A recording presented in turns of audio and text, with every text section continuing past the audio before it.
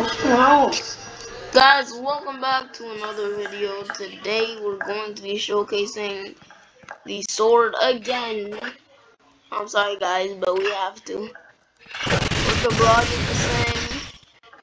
But this time our judgment is our heavy attack. As you can see there's 20 oh it's still 25.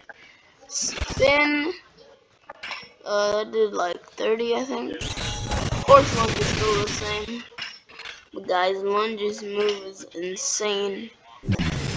Oh, well, you can't block that thing. And it guard breaks as well. I mean, I didn't expect it. Oh. Wait. So that goes through block and guard breaks.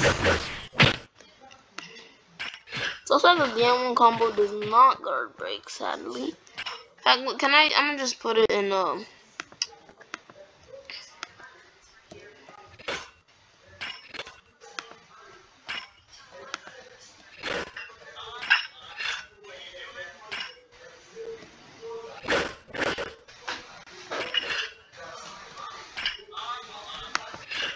Alright.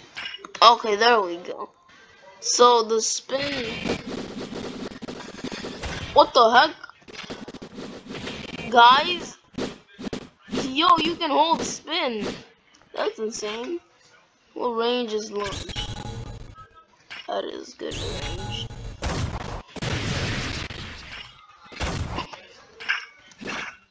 Guys, you can literally actually spin the sword. That's good.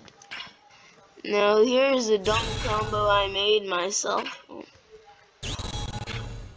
What? There we go.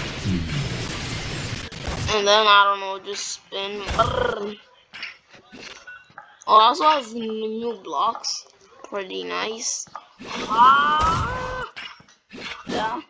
If only it would still spin. Ah, what the heck? Okay, well, so when I try to hit it with spin, it does that. What the heck?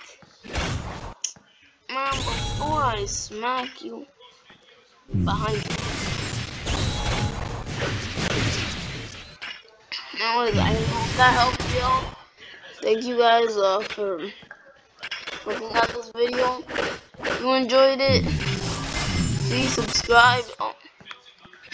Because oh. we're so close to 50 subscribers.